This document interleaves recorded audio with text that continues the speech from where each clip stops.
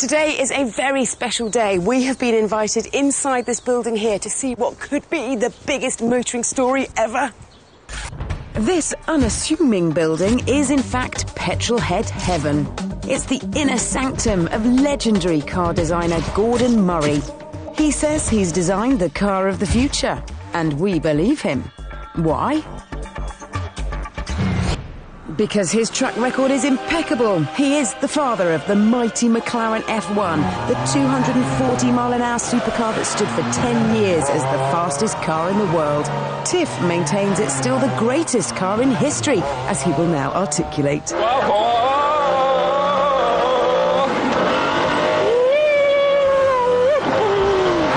So, what does the future face of transport look like?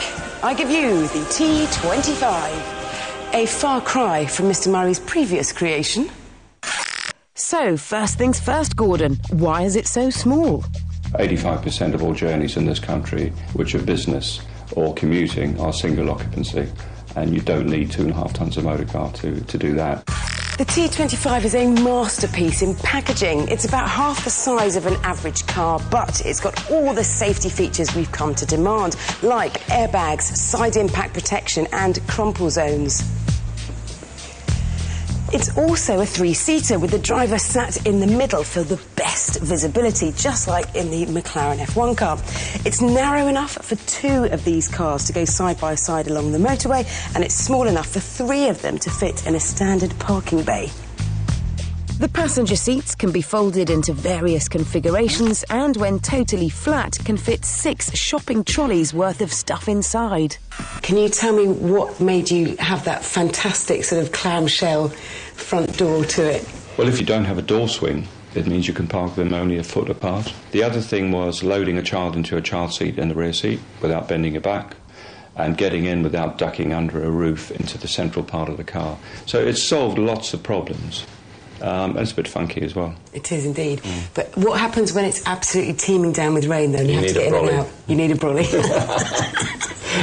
That's, that's a flippant reply, but we have made sure that all the materials we've sourced for the interior come from like wetsuit suppliers and stuff, so it's all wiped down. So it is a drawback, but the advantages are enormous. The T25 weighs just 575 kilograms, which is at least 175 kilos less than a smart car. And let me tell you, lightness is the key to all good things. Gordon is obsessive about weight saving. Even the spanners in the F1's toolkit were made of titanium to help shed precious grams. In racing, it absolutely shows. You know, one kilogram is a few tenths of a second in a lap, so that's that's the proof, if you like. But in road cars, it's it's mainly about efficiency. The fuel consumption and the CO2 and emissions it just tumble with weight. It's it's directly proportional. And so the engine, it is a three cylinder petrol unit with just 51 brake horsepower, which doesn't sound a lot, but because the car is so light, its power to weight ratio is better even than a 2 litre standard family car. So Murray's little motor will still hit 90 miles an hour. Just as innovative is the way the T25 will be made in a factory that's 80% smaller than a normal car plant. Gordon calls this process Ice iStream. In very simple terms, we're talking flat pack cars. 12 times as many T25s can fit in a shipping container, saving fuel and carbon emissions.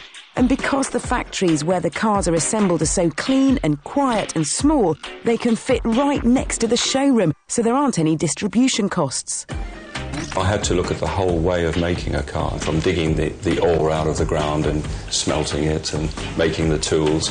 Uh, things like distribution and transport, shipping containers. You know, shipping's really very, very dirty from an emissions point of view. We've really invented a new way of making cars. The McLaren was famous for using materials not normally associated with cars. For example, gold is the best reflector of heat, so it lined the engine bay. The same philosophy is used in the T25. We've scoured the world for low-cost materials from other industries that can give you, you know, levels of Formula One safety in a, in a small vehicle. The body is in fact upcycled plastic bottles, so that's, that's been recycled once and can be recycled again at the end of its life. These days cars do 100,000, 200,000 miles. It's the body that gives up. there's absolutely no reason why you couldn't rebody the car after 10 years and keep the rolling gear. And that's the ultimate recycling, is not to scrap. A typical T25 will cost around £6,500, with running costs 40% cheaper than a Mini. But Gordon isn't actually going to make the T25. Instead, he's going to sell the plans to other companies. 15 businesses from 12 different countries are interested, and they're not just car companies. For the people who are not car manufacturers, we have a huge global manufacturing partner who will go and make the car for them so they don't have the worry of you know setting up the factory and actually even running the factory. Can you imagine if someone like Apple started making these? It would frighten the old guard car industry to death. Being a perfectionist, Gordon Murray wouldn't let me drive his prototype, but the man is a living legend. And I'm convinced that the T25 and the iStream technology behind it will achieve equal status within the motor industry soon.